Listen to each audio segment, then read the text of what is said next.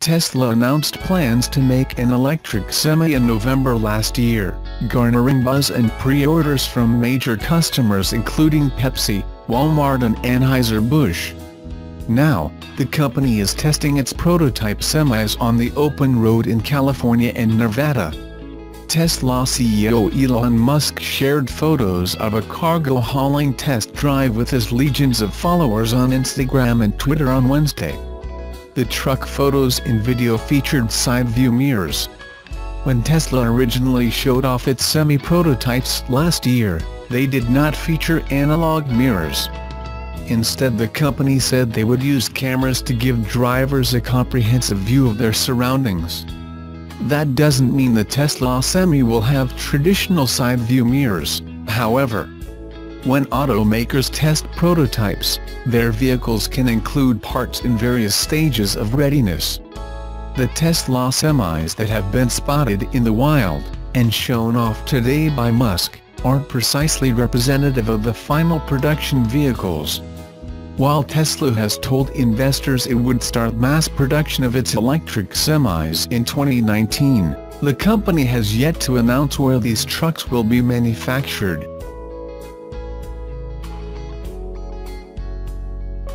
General Motors' new Chevrolet Silverado medium-duty truck will compete in more segments than initially expected, a strategy coinciding with the automaker's plan to expand and improve its commercial dealership network.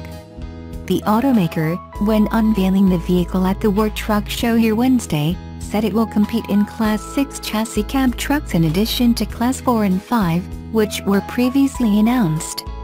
The addition helps expand GM's reach and differentiate it from competitors such as Ford Motor Company and Fiat Chrysler Automobiles, according to executives. Ed Peper, U.S. Vice President of GM Fleet, told Automotive News on the sidelines of the show, this will be the biggest thing we've ever done for commercial. I think it's a real inflection point in our business. This just says a lot about the support from our leadership and the resources that we're getting to continue to grow this business. Medium-duty trucks range from Class 4 through Class 6 based on gross vehicle weight ratings, which is the maximum operating weight mass of a vehicle. The new Silverado has a max of 22,500 pounds, which reaches into the middle of the Class 6 trucks, where Ram does not compete, and Ford has a truck but on a different frame than its other medium duties. John Schweigman, GM's U.S. Director of Commercial Product and Medium Duty said, it's a different proposition in the market than what Ford and Ram have. The trucks, which the company has said were built from the ground up and are not variants of existing trucks, are aimed at fleet and commercial buyers and can be upfitted with work-specific beds and boxes for work such as landscaping, emergency services, refrigeration and towing. GM expects to eventually gain upward of a 25 to 30% share of the medium-duty truck segment, which would equal its level prior to exiting the segment during the company's 2009 bankruptcy. Peper said, we're going to have to conquest largely from Ford, a little bit from Ram. More important than the sales of the medium-duty segment is the adjacent sales, according to Peper. He said, for every one of these trucks we sell, we think we're going to sell a van, we're going to sell a pickup and one of something else. The adjacent sales are expected to expand past vehicles to other business segments such as GM Financial, Parts and Accessories and OnStar, which offers a fleet service with tracking and diagnostic services called Commercial Link. The adjacent sales are a main draw for Chevy dealers. However, Schweigman said the company's being very blunt in letting dealers know they must be committed to their commercial business to be successful. He said, it's bad for the dealer if they invest in something and aren't ready for it and it's bad for our customers if they have a bad experience, they get specced into the wrong truck. They have a service experience.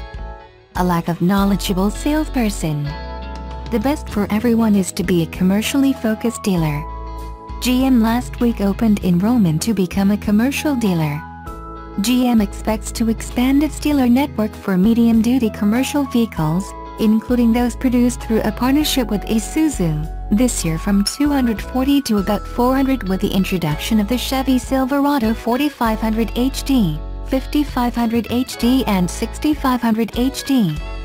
Requirements to become a commercial dealer include training for sales and service staff on commercial vehicles as well as parts and other specifications such as service door heights and lifts to accommodate the trucks. GM estimates the cost to meet the requirements at $100,000 to $200,000. However, Schwegman previously said many other dealers already have many of the facility requirements. He said, incremental training and parts could cost just around $10,000 to $15,000 for those dealers. The medium-duty Silverado trucks, like their light-duty counterparts, feature a mixed-use strategy that includes aluminum, high-strength steel and other materials. They also feature several exterior design characteristics of the current light-duty Silverado. On the interior, the commercial trucks also feature some of the same comfort creatures of the light-duty Silverado on the interior. Some of them include USB chargers, quieter cabins and a built-in 4G LTE Wi-Fi hotspot. The trucks are designed to support wireless cell phone charging and Bluetooth, along with support for Apple CarPlay and Android Auto.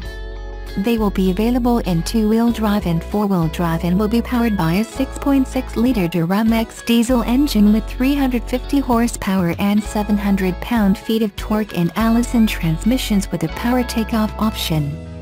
Unlike a decade ago, GM has no plans to sell a medium-duty GMC truck, according to execs. GM did not announce pricing, however it's expected to be $40,000 minus $60,000. That does not include upfitting charges for specific needs that can cost several times more than the chassis cab. GM partnered with Navistar International Corporation to develop and produce the trucks in Springfield, Ohio. Production is expected to begin in late 2018. Order guides will be available in the spring and exact pricing will be announced this summer.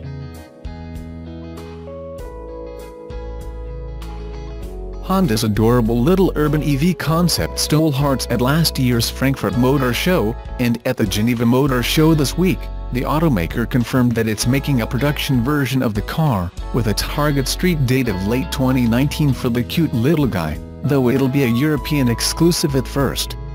The Honda Urban EV concept features a two-door, four-seat design, and a look that evokes virtual pets more than maybe automobiles. It's a natural fit for the European market, where its quirky styling and maximum use of minimum space are a good fit for street conditions and use cases. Though don't know the target range of the vehicle or its final design, but hopefully Honda doesn't stray far from the concept when it comes time to produce the car.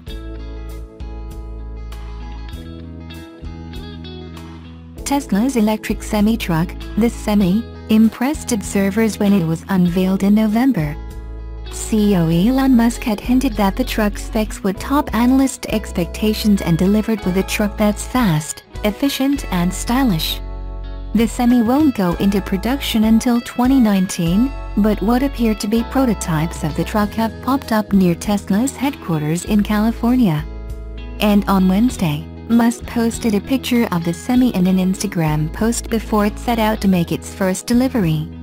According to Musk, the trucks were making their first production cargo trip, transporting battery packs from Tesla's Gigafactory in Sparks, Nevada to the company's car assembly factory in Fremont. Since November, a number of major companies have ordered semis, including Pepsi, Walmart, and Anheuser-Busch. But while big-name customers could quicken Tesla's entrance into the trucking industry, they'll likely put more pressure on Tesla to hit production deadlines than the over 400,000 Model 3 reservation holders. Semi-customers will also expect Tesla to hit the impressive specs the company announced in November. The most important feature is the truck's 500-mile range per charge, which some competitors have claimed is impossible and analysts have said will rely on improvements in battery technology between now and 2019. The Semi will be able to accelerate from 0 to 60 mph in 5 seconds without a trailer and in 20 seconds while carrying 80,000 pounds of cargo.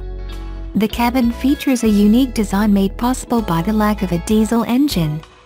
Drivers will be positioned in the center of the vehicle to increase visibility and have enough room to stand in the cabin. Like Tesla's consumer cars, the Semi will have the company's autopilot software, which will allow the truck to brake and stay in its lane without driver input. Musk envisioned semis eventually moving in semi-autonomous convoys, which would save fuel costs by reducing wind resistance for some of the trucks.